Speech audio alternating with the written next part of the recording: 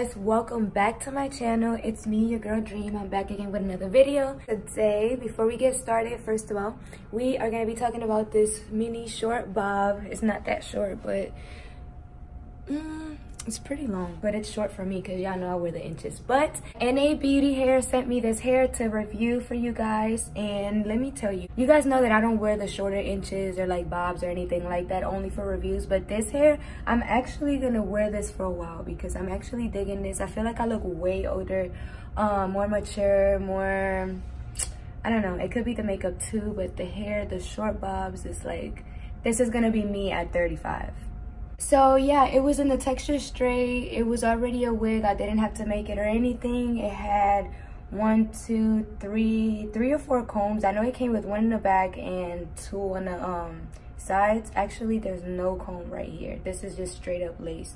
So I did pluck the side part and styled the baby hairs myself it came with this beautiful ombre it was already colored i didn't have to do anything now it wasn't patchy so i love that. We love that. It's actually like ombre and like nicely done ombre because I remember the last wig that I had that was ombre you guys didn't like it because y'all said it was like patchy like it was just like straight. But this hair I love it. So if y'all want to know anything else about this hair just make sure to look down in the description box and get informed. So a couple of days ago I asked you guys to ask me anything that you guys needed advice on anything that you wanted me to speak about or help you out. Without outing you guys' names, I am going to be helping out as much as I can. All right, and this is a nature sesh, so you guys already know that we're about to get lit. And if you're smoking with me, then let me know what it is that you're smoking on because your girl never knows what I'm smoking on. I never know what I'm smoking on. I never ask my plug. I never, I don't know. I just know I feel relaxed so the first comment was how to not care about people's opinions. so honestly, what helped me the most with that, like to deal with how to not give a fuck about what anybody else is saying. Look at this sun, yes.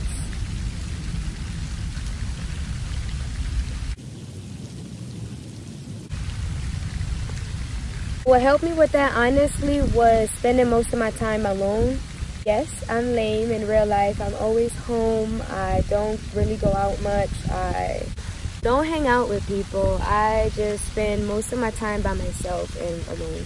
When You spend time alone, you get to really just learn yourself and to figure out what you think is cool and what you think it's not. What you're okay with and what you're not okay with. You know, and eventually when you get around people, like you have your understanding of, okay, um, okay, well they can think this, that, and the third, but this is what I think, and I don't give a fuck about what the next person is thinking. This is my opinion, and this is this is what matters. Okay, like I'm not I'm not worried about what the next person is thinking. They have a whole different separate mindset from me, so we might see nobody sees shit the same as you see it.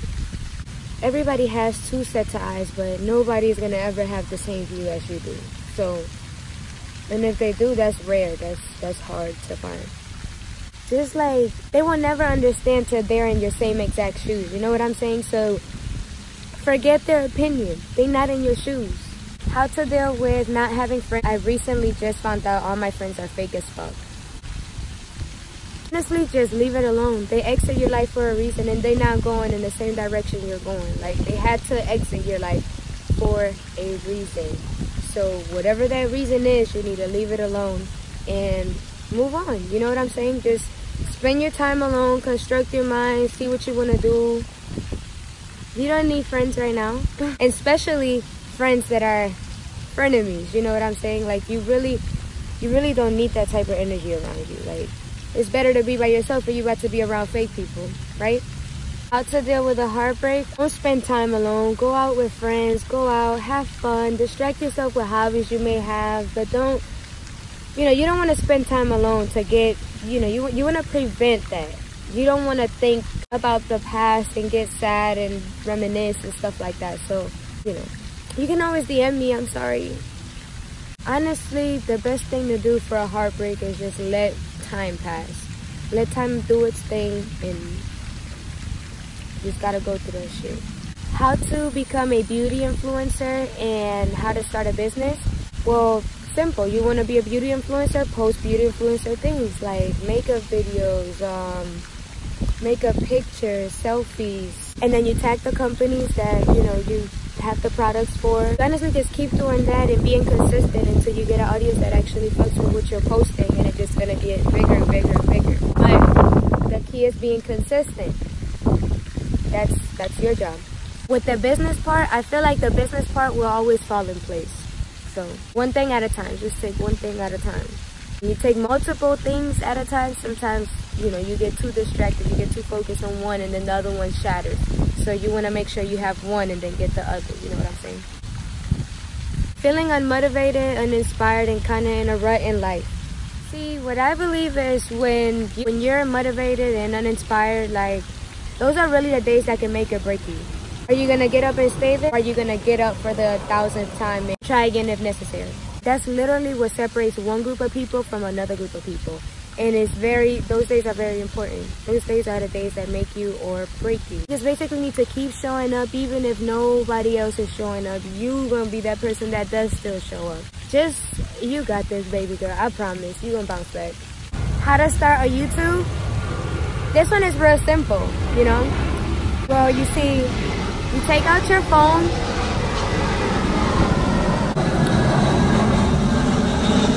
you take out your phone, you get yourself in front of the camera, and you just simply click start.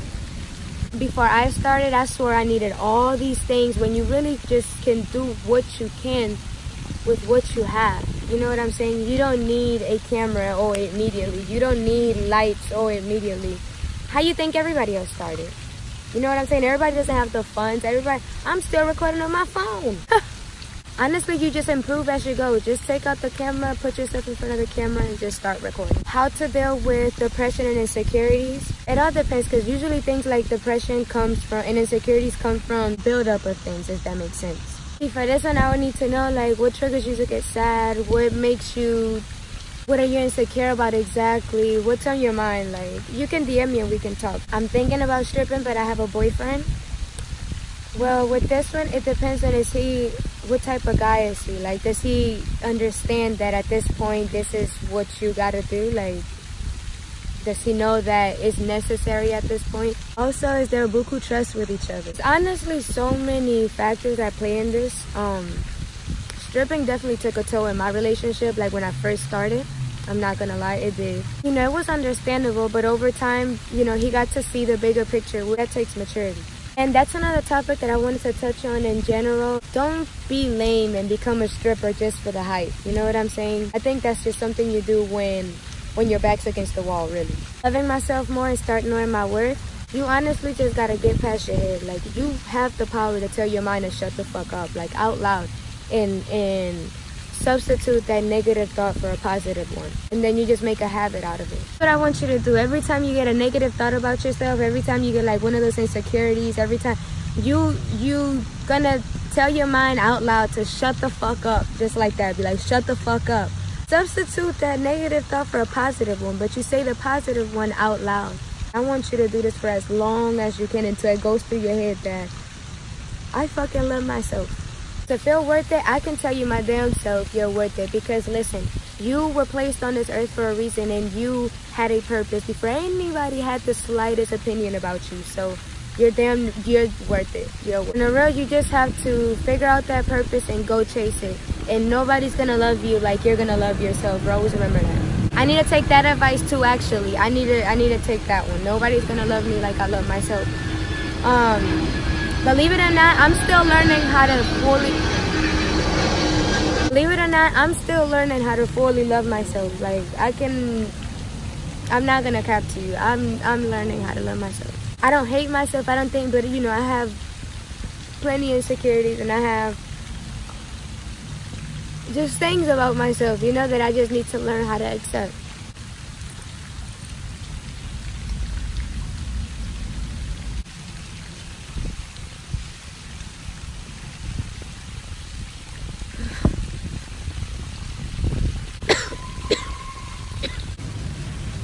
Can you tell someone loves you unconditionally?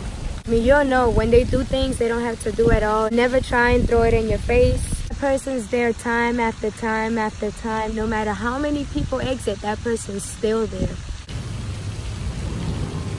knowing you can always run to them, like that feeling that you get, like you know the feeling I'm talking about. If you feel that you can always run to that one person and knowing that they're not gonna judge you, but they're gonna keep it a hundred with you. You know what I'm saying? You just know it's like little things, but it's real big in real life. Getting money quick. Fast money isn't always good money. What if you're in love with your ex but can't bring yourself to talk to him? Honestly, I think you just need to get out of your head and we, you know, we're young as fuck. Like, what's the worst you can say? Like, I don't want you back. In that case, okay, it's gonna hurt a little bit, yeah, but you you know you move on from that. And you just but you're never gonna know what could have happened if just feel like you should say something because it's just better than wondering like what could have been. Come feed the fucking ducks now. Now that i'm here it's time to feed the ducks. How to save money to travel? Oh my god another goddamn plane.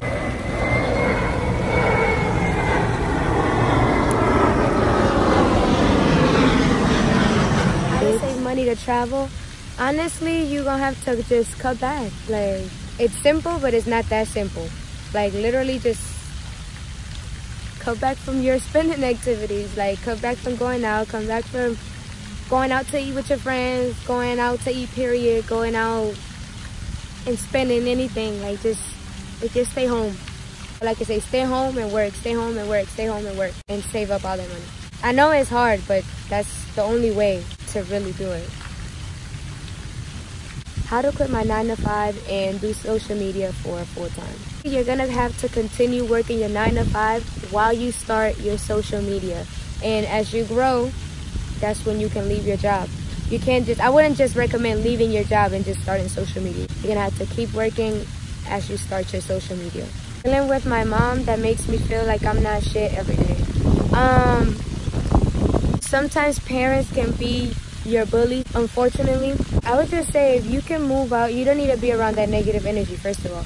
So if you can move out, move out. If you can't, just save up to try to do that. That's that's one thing you should have in your bucket. That's one thing you should have in your goals list. Moving out of that house and saving up and getting you your own stuff. Because you need your own space at this point.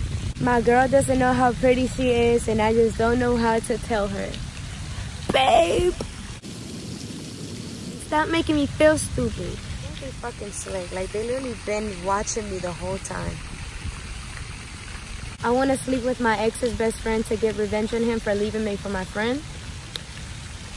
Baby girl, I feel your pain. Trust me, I feel your pain. That's fucked up on so many levels. Like, that's so disrespectful. That's literally the worst thing you could probably do. Like, with my friend too, bitch, I'll probably go crazy. But I think I'm gonna tell you the right thing to do. You sleeping with your ex's best friend isn't gonna get revenge on anybody but not even on yourself. You're just gonna feel terrible afterwards because you're gonna find that he what if he doesn't give a fuck, you know what I'm saying? What if he what if he's still like, okay, I'm happily in a relationship? How are you gonna feel after that? I wouldn't do it. I thought I loved this guy, but it's fading. He's a good guy. He's a good guy, but he's just too sweet, I guess. Um, I can actually relate to this one 100% because when I was in high school, during my high school years in Atlanta,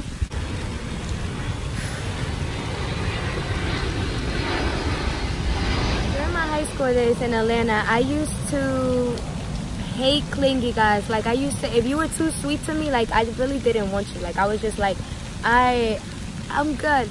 And you know, and I would never tell them either. Like I would just like act distant and stuff. I don't know, they were always wondering. I would just like kind of just like I didn't I didn't I didn't like that at all. I didn't like that clingy shit. Now I don't like the clingy shit, but I just like you to be the right amount of clingy. That makes sense. If you don't like him, you don't like him. Like there's nothing really you could do. He's too sweet. That's not your type right now. So why be with him? It's really something in a decision that you really have to make. Like, how do you feel? If that's not your type right now, if that's not what you're feeling, don't lead him on to thinking that there will be a future if that's not what you're thinking, you know? Would be fucked up to play with his feelings like that. I need advice on how to handle all negativity. Surround yourself by positivity. Surround yourself by people that actually give a fuck about you. Surround yourself by people that actually worry about your mentality and your mental health now they won't walk their dog. And most importantly, cut them negative people all the way off. Like the slightest bit of negative, like you feel like you just can't deal with it, just cut them off. Simply, if you stay by yourself, it's better than being around buku negative people, trust me. Dealing with constantly being put down by family, there's no better revenge than bossing up and glowing up and becoming successful. That's the best thing you can do. Not just deal with that, but really to uplift yourself and be like, hey, at the end of the day, I'm still a boss ass bitch. You said what you said, and look where I'm at.